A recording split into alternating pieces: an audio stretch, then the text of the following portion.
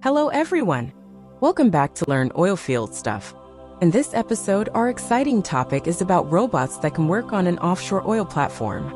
Yes, you heard that right. Robots that can work on offshore oil platforms where humans normally face many hazards and challenges.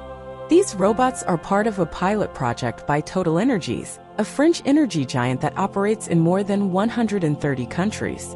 They have deployed two robots on board the Pazflor Floating Production, Storage, and Offloading Unit, or FPSO for short, that is located more than 90 miles off the coast of Angola. This FPSO has a capacity of 220,000 barrels of oil per day, which is equivalent to the daily consumption of about 1.5 million cars. The robots are called Taurob, and they are developed by a German company with the same name. They are tracked units that can climb graded stairways and recharge themselves in docking stations.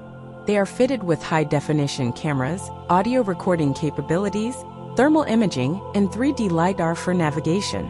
They can also use machine learning algorithms to inspect valves, gears, and lighting. The robots have been assigned to about 1,700 points of interest on the FPSO, where they have to carry out routine inspections of two oil separation modules that span five decks. That's a lot of work for these little guys. But they are not alone. They are supervised by a software called a Robot Supervision System, or RSS for short, that uses video game engine technology to plan inspection missions autonomously and relay data back to humans in the control room. The goal of this project is to prove that ground-based robots are a critical stepping stone toward realizing the grand vision of removing human workers from large production facilities.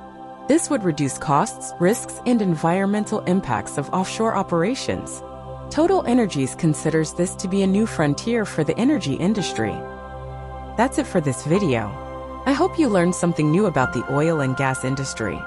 If you enjoyed this video, please give it a thumbs up and subscribe to our channel for more oilfield related content. Questions? Do you have any questions about the oil and gas industry? Leave them in the comments section below and we will try to answer them. Until then, stay curious and keep drilling.